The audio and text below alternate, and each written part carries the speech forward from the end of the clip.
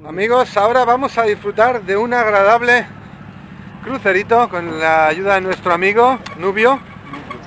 Aquí vamos a disfrutar ahora de este divertido y placentero crucero a la puesta de sol en el río Nilo, en Asuán.